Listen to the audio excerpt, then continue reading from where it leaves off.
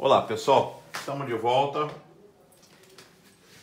com mais um probleminha do colégio naval. Probleminha onde ele fala o seguinte: um polígono regular convexo tem o seu número de diagonais expresso por n ao quadrado menos 10n mais 8, onde n é o seu número de lados. O seu ângulo interno x é tal que...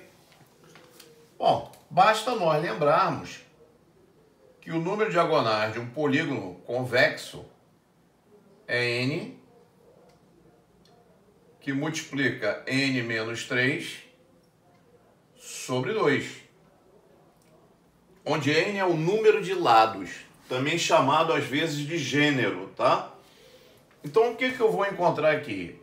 Eu sei que esse n, que multiplica n menos 3 sobre 2, ele terá que ser igual a n ao quadrado menos 10n mais 8. Certo? Vamos ver essa equação aí. A gente vai encontrar o n, depois a gente acha o ângulo interno. Ó, repara uma coisa, olha. Isso aqui vai dar n ao quadrado menos 3n. Tá? Distribuindo. E aqui, 2n ao quadrado menos 20n mais 16. Arrumando essa equação, você vai encontrar 2n ao quadrado menos n ao quadrado, n ao quadrado. Menos 20n mais 3n, menos 17n. Mais 16 igual a zero. Bom, essa equação, ela fornece duas raízes.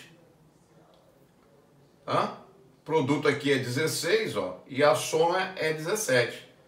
Então é claro que uma raiz é 1 e a outra é 16.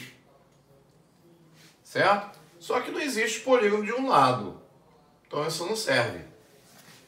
Resposta n igual a 16. Agora eu quero o ângulo interno. O ângulo interno do polígono de 16 lados. Tá? Bom, gente, olha só, vou, vou ensinar um macete a vocês aqui que às vezes funciona. Sempre que eu quiser o ângulo interno, é mais fácil achar o externo e subtrair de 180.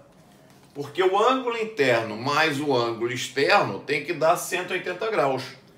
Como a fórmula do ângulo externo é mais fácil, o ângulo externo é 360 graus dividido por n, é mais fácil achar o externo e subtrair de 180 para achar o interno.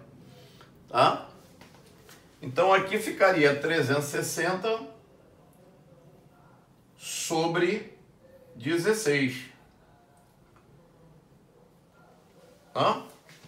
Simplificando isso aí por 8, dá 45 sobre 2. Ou seja, o ângulo externo ó, é 22 graus 22,5, né? 22 graus e 30 minutos. Ah, 22 graus e 30 minutos. Ora, o ângulo interno que, ele é, que é o que ele quer vai ser 180 menos 22 e 30. Então, esse ângulo interno vai ser 157 graus e 30 minutos. Hã? 157 graus e 30 minutos. Certo? A continha está certa. Está aí o ângulo interno. Tá? Então a opção correta seria a letra E. x maior que 150. Não é menor que 120, não está entre 120 e 130, nem entre 130 e 140, nem entre 140 e 150. X é maior que 150. Tá legal? Então essa aqui é uma dica que às vezes ajuda. Sempre que eu tiver que achar o ângulo interno, é mais fácil trabalhar com ângulo externo. Porque a fórmula é mais simples, é 360 sobre n.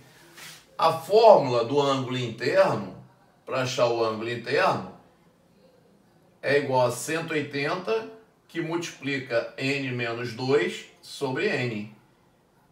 Então, é um pouquinho mais complexa do que essa.